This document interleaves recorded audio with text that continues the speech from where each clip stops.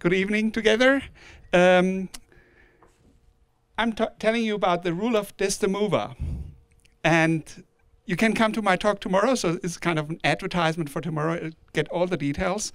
The thing is, a lot of things that are good practice are good practice because we know how to do them. They might not be the best way how to do them, but it's the only way we know, or maybe the, the only way we remember. And remembering things is having good names for things, and that's why I used that name.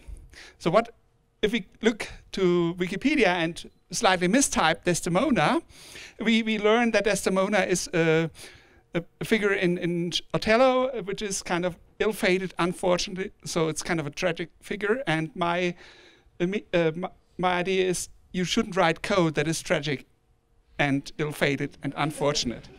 so don't be like Desdemona, but use Desdemova.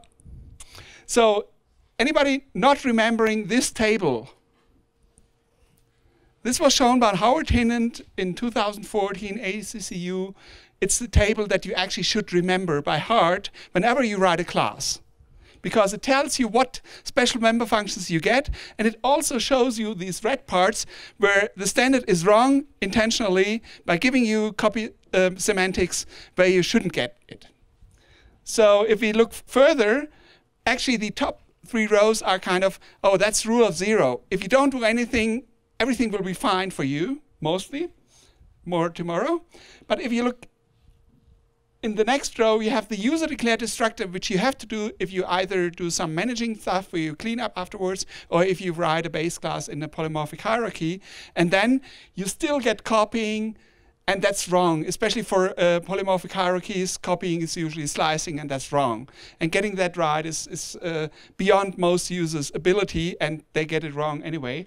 So, but what you see is if you user declare the move assignment, you will see oh, I don't get copying, but I still get a default default constructor, and that is actually what I call the rule of Desdemova. The rule of destructor defined deleted move assignment, which is usually the most correct thing to do. You just have a destructor and you not copy and not move.